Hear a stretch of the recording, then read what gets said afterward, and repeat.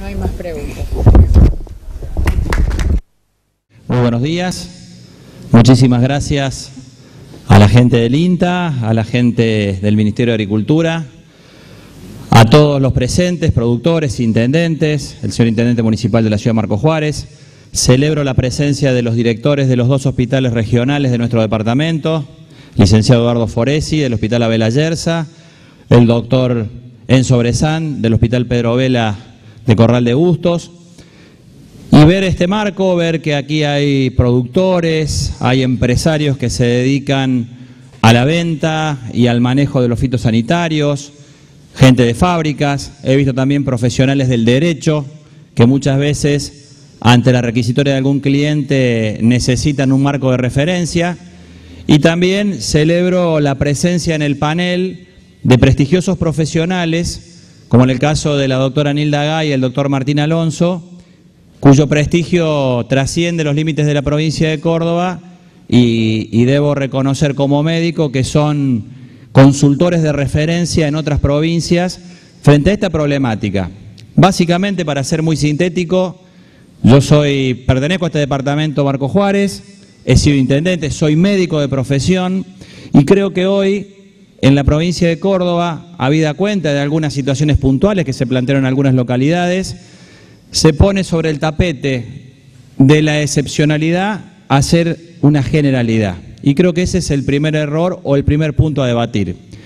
Pero me parece que lo más importante cuando tenemos responsabilidades como Estado, como gobierno, es trabajar para ser parte de la solución y no ser parte del problema. Quedó expuesto claramente en la disertación de los, profesionales médicos la diferencia que hay entre un relevamiento y un trabajo científico. Y a partir de ello, que las consecuencias y las decisiones que se tomen tienen uno y otro nivel de decisión.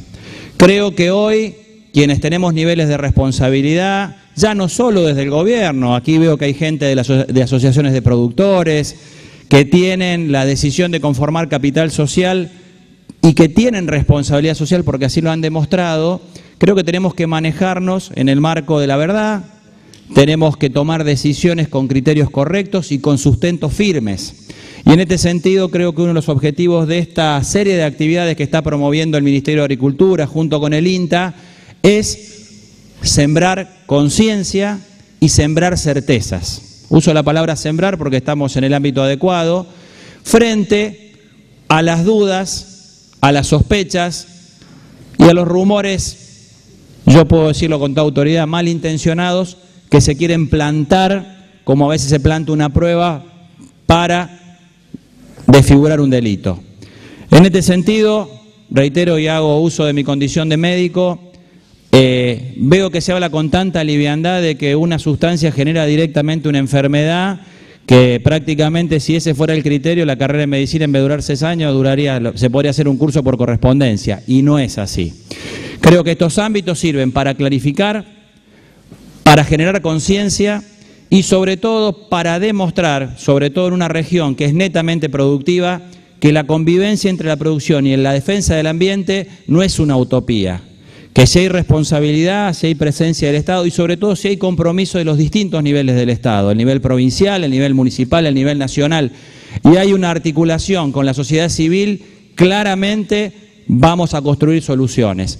Creo que es muy oportuno y felicito a Julián, en cabeza de todo el equipo del Ministerio de Agricultura y a la gente del INTA, promover, difundir y hacer extensivas en toda la superficie de la provincia de Córdoba este tipo de actividades. Tenemos que trabajar desde la verdad, generar conciencia, no hablar livianamente de que una sustancia determinada es la responsable de todos los problemas del mundo. Eso no es así yo creo que hay un error en querer simplificar malintencionadamente las cosas.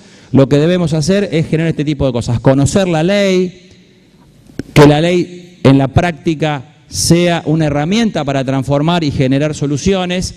Y fundamentalmente cuando aparezcan los mercaderes de la mentira, los fundamentalistas, claramente está demostrado que el fundamentalismo en ninguna parte del mundo conduce a unos caminos. Lo único que genera es divisiones, promover la discordia y ninguna solución. Ese es mi mensaje. Nada más.